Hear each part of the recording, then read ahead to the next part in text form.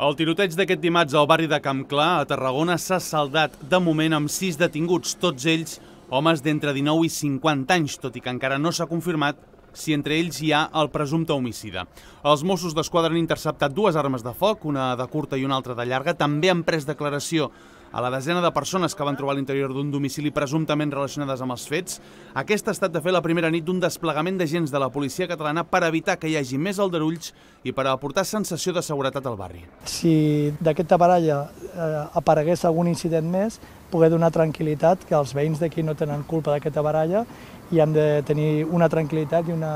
una seguretat, una percepció de seguretat amb un increment de, de percepció de dotacions d'ordre públic i seguretat ciutadana. I serà aquesta nit i segurament ho farem eh, properes nits també amb la col·laboració de la Guàrdia Urbana. La Guàrdia Urbana també ha participat del dispositiu,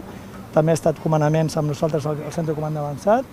l'alcalde ha estat informat en tot moment i les, les diferents autoritats i hem quedat d'acord que també participaran aquestes nits amb l'operatiu conjunt de prevenció. El tiroteig ha deixat una persona morta, un home d'entre 50 i 55 anys i dos més de ferits que han estat traslladats als hospitals Joan 23 de Tarragona i Sant Joan de Reus, però que no es pateix, en aquest cas, per la seva vida. Tot i que el cas està sota secret de sumari i no hi ha detalls de la investigació, algunes fonts apunten a un enfrontament entre dos clans familiars com a presumpta causa de tot plegat. En el desplegament que s'ha produït aquest dimarts hi han participat uns 150 agents dels Mossos d'Esquadra i també de la Guàrdia Urbana de Tarragona, així com un helicòpter i també agents del Grup Especial d'Intervenció de la Policia Catalana.